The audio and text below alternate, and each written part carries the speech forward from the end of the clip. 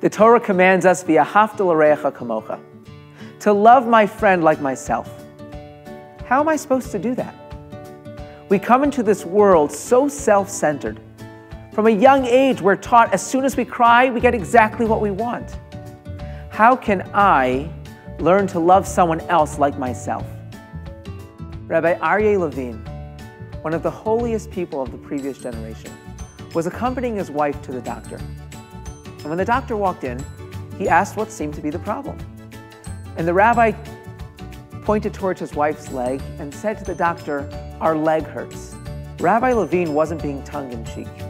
He meant it literally. He viewed his wife as an extension of himself. I need to learn to view other people as an extension of who I am. When I get married, I'm not just me, the individual, anymore.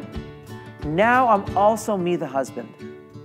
And when I have a child, I now expand that sense of self to include someone else. When I hold that child in my arms for the very first time, I'm looking at an expansion of myself. I'm no longer just the individual. I'm no longer just the husband. Now I'm the father as well.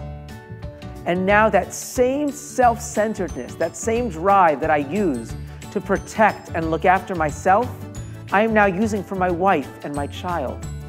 And I am meant to expand with concentric circles until that includes the whole world.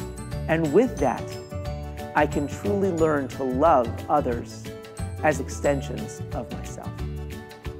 Click here to subscribe to our videos. Click here to visit our website. And don't forget to like below and share with your friends.